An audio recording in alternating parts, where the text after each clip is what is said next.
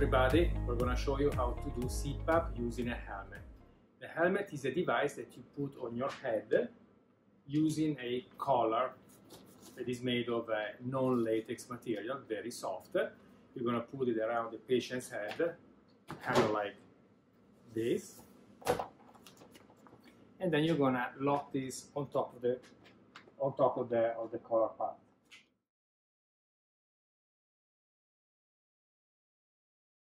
So you receive it essentially like this, already assembled, in a bag. Different sizes are possible. This can be adapted and cut in different dimensions to adapt to the patient's neck.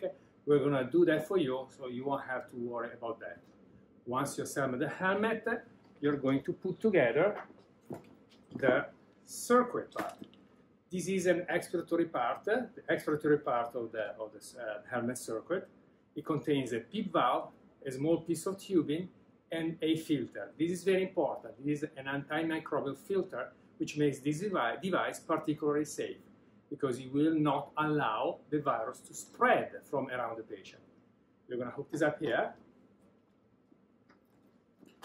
And then you're going to hook it up to the inspiratory limb, which also has a filter. The reason for this filter is not so much for viruses, but it is for noise reduction. You know, I will put it like this here. Another thing that may be important is that uh, this helmet comes uh, with a little flap inside the inspiratory port. I would remove the flap because it makes it easier for the patient to get fresh air.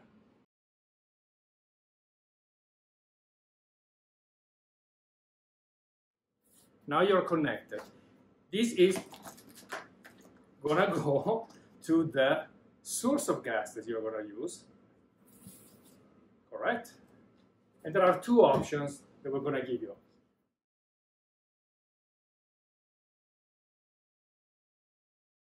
If you're in the ICU or if you have this device available, a Venturi device with an oxygen sensor and a humidifier, it's probably the best configuration if you can do that. This is safe because you can monitor the oxygen fraction. You can humidify the gas, and uh, it's something that most practitioners are familiar with.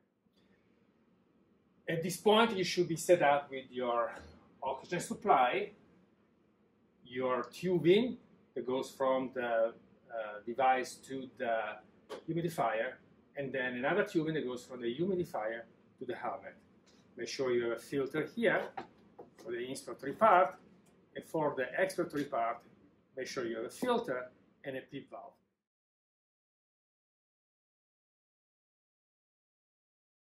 I would recommend starting with a PEEP of 5 centimeters of water. You can now start the oxygen as a starting setting, I would recommend 50 liters per minute of oxygen and a fraction of oxygen of uh, 60%.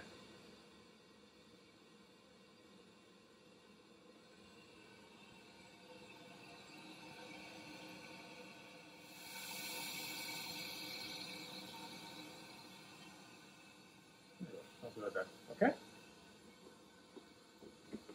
this point you should be ready for your patient to wear the helmet. You put it on like a sweater.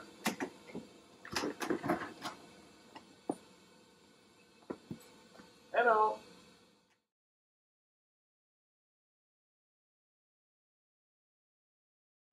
For when you have patients on the floor, we don't have any other device available, you can use a Venturi.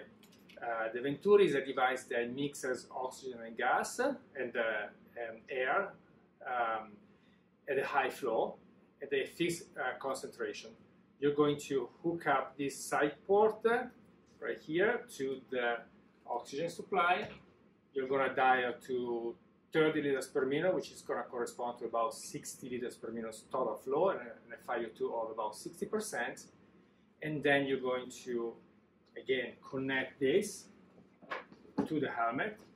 Don't forget to put a filter the helmet for noise reduction because this is actually quite noisy. And then we're going to turn on the oxygen. You're going to be ready to wear another, put it on the patient.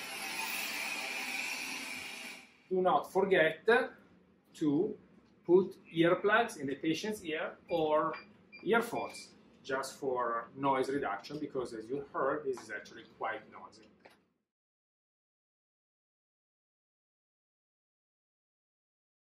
Arm straps that you can attach uh, to the hubs here on the side of the helmet.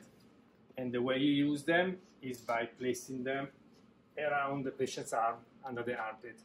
The purpose of this is to avoid the helmet from going up and down and make it more stable for the patient.